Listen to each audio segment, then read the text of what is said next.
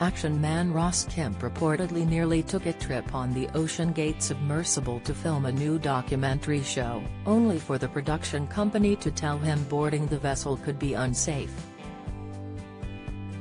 The former EastEnders star was apparently destined to dive down in the submersible as part of the show, but eventually pulled out following safety checks. This revelation about the 58-year-old actor and presenter, who is best known for playing Hardman Grant Mitchell on the BBC soap, comes after some tragic news. The U.S. Coast Guard have recently confirmed that five people were all killed on board the OceanGate submersible Titan. The shocking discovery came days after a desperate searching was carried out to try and find the vessel that had lost contact with the surface word.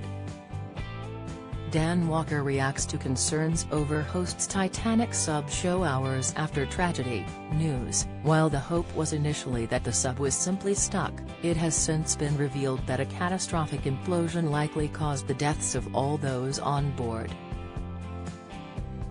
Ross agent Inter-Talent boss Professor Jonathan Shalit has since told The Sun, their team checked out this OceanGate submersible and pulled out of using it, as it was simply not considered safe or fit for purpose. They found other sub-dives which have been safe and successful, but by that point Ross was so busy with all his TV shows that he was unable to commit the time. Don't miss Ross Kemp details poignant personal connection to deep-sea treasure, news, Ross Kemp feared he wouldn't wake up again after diving accident, news, EastEnders must still entertain, warns Ross Kemp, latest, I am just relieved not to have had my post-note in history as the agent who killed Ross Kemp. The victims of the disaster included three Brits, billionaire Hamish Harding, 55, and businessman Shahzada Dawood, 48, and his son Suleman, 19. OceanGate chief Stockton Rush, 61, and ex-French Navy diver Paul-Henri Nargeolet, 77, were also killed.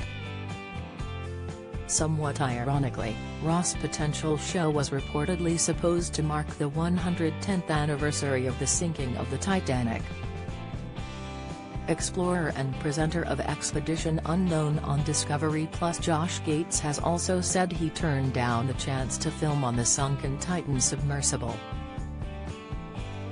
He tweeted earlier this week, Ultimately, I walked away from a huge opportunity to film Titanic due to my safety concerns with the OceanGate platform. There's more to the history and design of Titan that has not been made public, much of it concerning